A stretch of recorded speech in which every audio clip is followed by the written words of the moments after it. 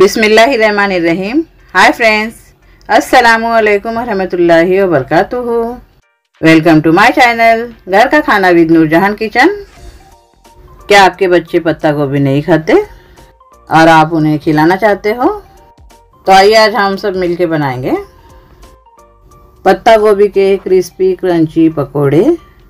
जिन्हें खाते किसी को भी पता नहीं चलेगा कि ये पत्ता गोभी के है या प्याज के। क्योंकि मेरे बच्चों का भी यही हाल है, उन्हें पत्ता गोभी बिल्कुल पसंद नहीं है, मगर जब हम ये पकौड़े बना के खिलाते हैं तो मज़े ले लेकर खाते हैं ये। तो इसलिए मैंने आपसे आज ये रेसिपी शेयर की हूँ तो आइए शुरू करते हैं। देखिए, यहाँ पर हमने 250 ग्राम पत्ता गोभी स्लाइस कट करके लिए है। और बिल्कुल उसी तरह स्लाइस कट करके लिए है, दो मीडियम साइज़ के प्याज। और प्याज और पत्ता गोभी को बिल्कुल आपस में अच्छी तरह मिक्स कर देंगे तो पता ही नहीं चलेगा कि पत्ता गोभी कितना है और प्याज कितना।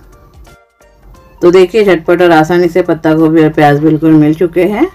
अब हम डालेंगे आधा चम्मच जीरा, और इसके बाद हम डाल रहे हैं गरम मसाला आधा चम्मच, और डालेंगे लाल मिर्ची पाउडर। आप अपने हिसाब से लीजिए, हम यहाँ पर आधा चम्मच से थोड़ा ज़्यादा लेंगे। कुटा हुआ धनिया लिए हैं, आधा चम्मच।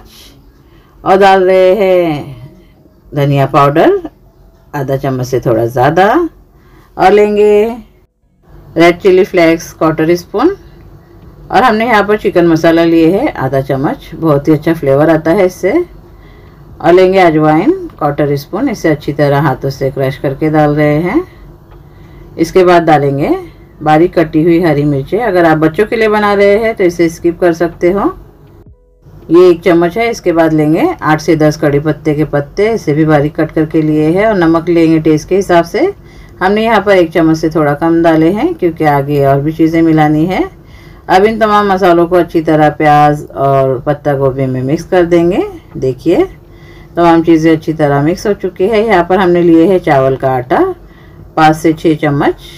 और इसे भी अच्छी तरह पत्ता गोभी में मिक्स कर देंगे। बहुत ही क्रिस्पी और क्रंची बनते हैं पकौड़े इससे।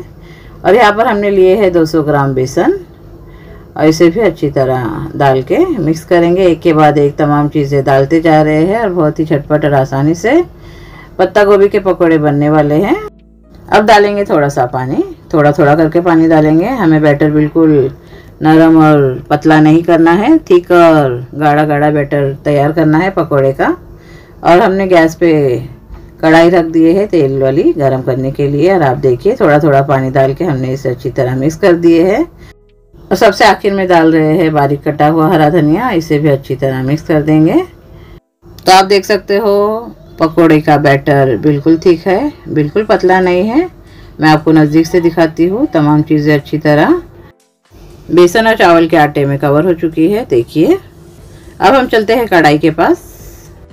तेल अच्छी तरह गर्म हो चुका है। बिसमीम हमने गैस का फ्लेम पास रखे हैं और एक के बाद एक पकोड़े डालते जा रहे हैं जितनी कढ़ाई में बैठेंगे। और आप देख सकते हो, बिल्कुल आसानी से पकोड़े कढ़ाई में जा रहे हैं। और दो से तीन मिनट के बाद हम इसे फॉक की मदद से पलटी कर रहे हैं ताकि दोनों तरफ़ से अच्छी तरह पकोड़े फ्राई हो। तो आप देख सकते हो, अच्छी तरह पकोड़े फ्राई हो रहे हैं, मीडियम फ्लेम पे हमने गैस रखे हैं और तीन से चार मिनट होने पर हम इसे दोबारा पलटी कर रहे हैं। बहुत ही प्यारा कलर आ रहा है। पत्ता गोभी के पकोड़े मीडियम फ्लेम पर हम इसलिए फ्राई करते हैं ताकि अच्छी तरह अंदर से सब्ज़ी भी पक जाए, बिल्कुल कच्ची ना रहे।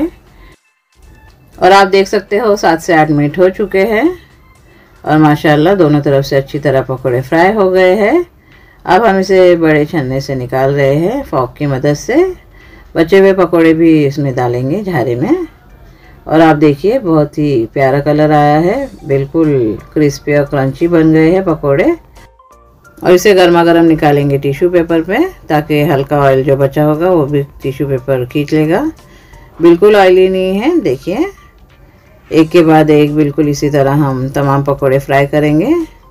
तो बहुत ही झटपट, बहुत ही आसानी से हमारे पत्ता गोभी के क्रिस्पी, क्रंची पकोड़े बनके तैयार हो चुके हैं। इसे खाइए हरी चटनी के साथ या टोमेटो केचप के साथ। मेरी बच्ची आपको बता रही है कि देखिए, अंदर से कितनी अच्छी तरह फ्राई है। जो बच्चे बड़े पत्ता गोभी नहीं खाते, उन्हें इसी तरह पत्ता गोभी के पकौड़े बना के खिलाइए। बहुत ही हेल्दी सब्ज़ी है ये। और बहुत ही मज़े लेके खाते हैं। हर कोई, किसी को पता ही नहीं चलता। देखिए, मेरी बच्ची भी खा रही है। तो उम्मीद है यकीन है ये रेसिपी आपको ज़रूर पसंद आई होगी और आप भी अपने बच्चों को और जो पत्ता को भी नहीं खाता और जो खाता है उसे भी ये बना के ज़रूर खिलाओगे। बच्चों की स्कूल की छुट्टियाँ पड़ गई है एक एक नई नई रेसिपी बनाते जाएँगे और बच्चों को खिलाएँगे घर पर। तो उम्मीद है यकीन है आप ज़रूर ट्राई करोगे और मेरे चैनल को लाइक करिए शेयर करिए सब्सक्राइब करिए और बेल आइकन ज़रूर दबाइए। और कमेंट करके बताइए कि आपके बच्चों ने इसे खा के क्या कहा है आपसे।